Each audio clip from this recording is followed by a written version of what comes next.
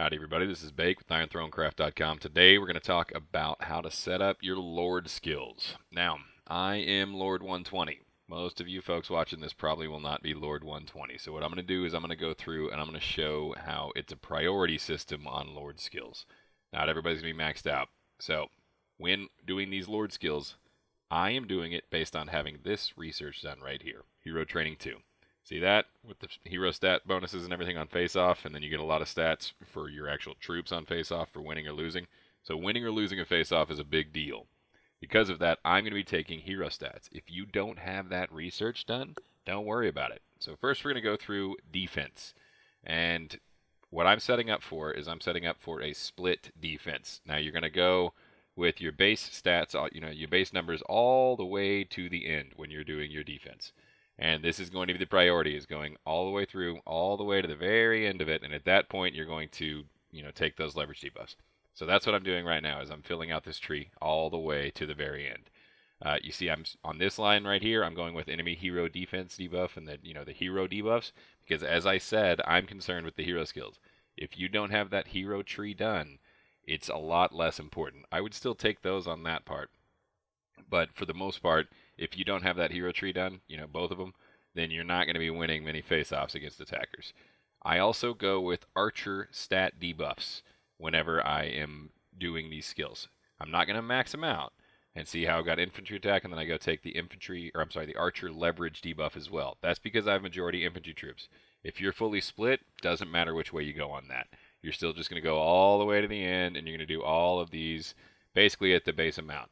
As you can see, I'm taking the archer debuffs every single time because I have more infantry than I have other troops. If you're a perfect split, again, that doesn't matter. We're setting this up like you're a perfect split. A lot of people are running split defense now. So, that's all you're doing all the way through is just taking 5 or 10 or however many you need to get up through to the next one until you get to the very end of the tree, which is this. This is where the bread and butter is. See at the very far right, those uh, basic leverage attack decreases for all three types? I am going to go and I'm going to take all three of them.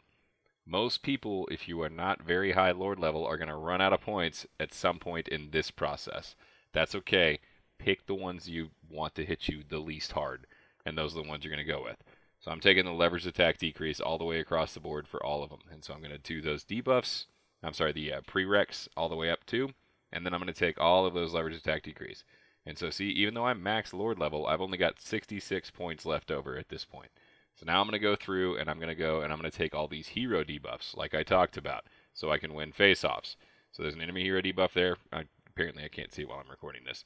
But uh, there, got it. So go back, take the enemy HP debuff, the defense debuff, the attack debuff, and that's just because I'm trying to win my face-offs.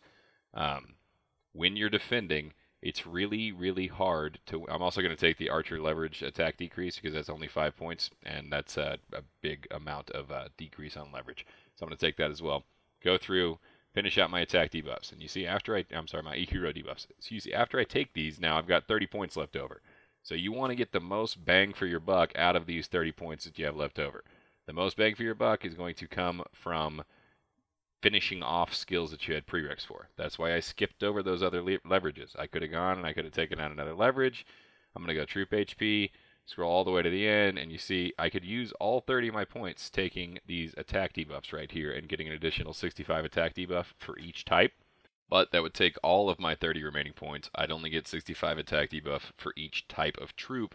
And if you do the math on it, that is a very, very small percentage of the total attack they're sending at you. So it's actually better to go back and take more leverage attack decrease if you can take it. So that's what I'm going to do is I'm going to go in I'm going to take the uh, cavalry basic attack. Uh, so I'm going to do the prereq on the archer attack there, and then I'm going to 15 all the way up, take another 10% leverage. That only leaves me with 6. So I'm going to scroll over here to where I, it only takes 5 to cap off my troop HP increase right here for an additional, what is that, 18 HP. And then I got one point that you can just ditch wherever you want to. Basically, it's not going to be a a make or break, obviously. So I'm just boop right there. A little bit extra for that.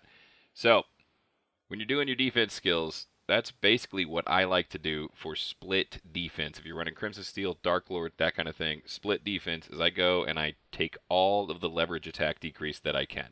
The stats given by other parts of it are not so massive to make up for that leverage attack decrease. That leverage attack decrease is incredibly massive. So let's talk about attacking now. When you're attacking, first things first, if you are going to be setting a rally, you want to have a max rally Lord skill preset. What that is, and I use this for soloing as well sometimes. And the max rally preset, all this skill set is here for is to max out your deployment size and your rally attack troop size skills. That's all it's here for. So you're going to take all the prereqs on everything else. You're going to go all the way to this point right here in the tree, and you're going to max out that. After that, you can do whatever the hell you want to. If you're very high lord, uh, lord skill level, then you can use all those 250 points, and you can actually max out all the monster things too. So you can use that for both of them. You can make it your gathering preset, something like that. Uh, so that's what I do, and that's whenever I'm setting a rally, I switch to those skills, set the rally for the max thing, and then I set the rally. As soon as it's set, you have it set, you get those numbers. You can switch skills after that point. So that's why I have that preset there. So let's look at how I'm going to set up a solo cav attack preset. Solo cav attack. This is if you're sending only ponies, you're trying to kill archers. So what you're going to do is basically just like on defense, you're going to go through and you're going to do all of your prereqs all the way through this tree, all the way to the end. The, bet, the bread and butter is very, at the very end, and those last points, you want to get that leverage attack debuff down, number one, and we'll show you that here in a second. I'm taking the hero debuffs again, and that's because when you're attacking, also, you're usually sending Radiant, some variant of Radiant if you have it, so you can win a lot more face-offs. Radiant versus Steel in a heads up will win a lot of the time. Here's where it starts to matter. I am taking infantry attack debuff because this is for cav. That's why I have a preset for each cav, infantry, and archer. So I take infantry attack debuff, and then I'm going to take the infantry leverage attack decrease because that's one that matters to me. Uh, continue doing the prereqs, everything else like that, opening it up. Now, whenever you have an option to take a debuff, if it's uh, defense or HP, you're going to take Archer defense uh, debuff because this is for Cav. So this is the preset you're going to use to solo or even switch to when you're rallying with all Cav after you use your max rally. Um, and I'm also going to take deployable troop size every single time because with my spare points, I'm going to come back through. I'm going to max out the deployable troop size uh, eventually. That way I don't have to flip between hero skills so much, or I'm sorry, lord skills so much. So take this prereqs all the way through, and now we're at the very end. And once you're at the very end, you're going to max out this cavalry line right here. So you see infantry attack debuff and then infantry basic leverage attack. I'm going to take all 30 of those, go back through. I'm going to take this uh, infantry debuff and the cavalry attack as well. So I've got a lot of points left over, as you can see. So what I'm going to prioritize from this point now is the hero debuffs, again, just like in defense.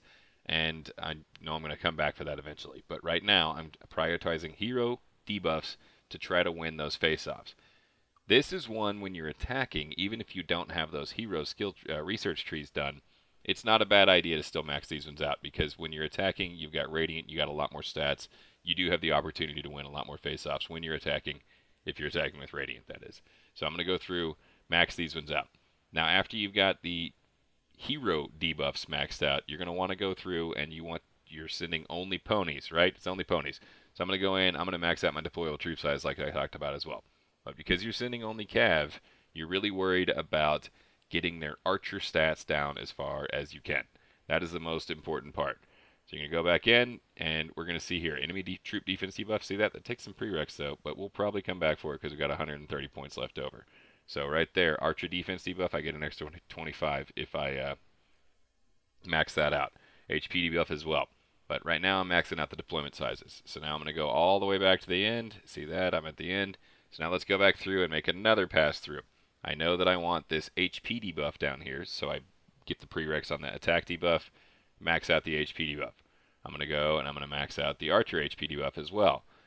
And I don't care about the other ones right now. Archer defense debuff is a big deal. Max that out. Go over here. I can max out the uh, the enemy troop defense defense debuff as well. So at this point now we got 41 points left over. Basically everything is less important. That's going to take give you a little more cav attack, so I'm going to take that. And so now what I like to do is I like to go and I like to max my siege debuff stats um, if with my leftover points. Because when I'm soloing, if I hit, they're mixed, anything else like that. A lot of times there will be, there will be siege there as well. So I'm going to go in and I'm going to max out my siege uh, stats as well. I am going to take the five points on those two, the attack and the HP increase. And then I'm going to go and I'm going to take the five points on all the siege spots because you basically get the majority of them as prereqs anyways. So there's no reason not to go max them out. And then, as you can see here, I'm maxing out these other prereqs that only take 5 points, give me max stats out of it. And that's that. So I'm going to go through, take this infantry attack debuff, and then again, you got one point left over that you can ditch pretty much wherever you want. So even if you're not an extremely high Lord level, doesn't matter. Uh, you still want to prioritize these these Lord skills correctly and make sure that you are prioritizing them and getting those leverage debuffs number one, and then setting up your Lord skills for exactly what you're doing when you're defending or you're attacking. Thanks for watching, everybody. Like, subscribe, hit the bell. Have a good one.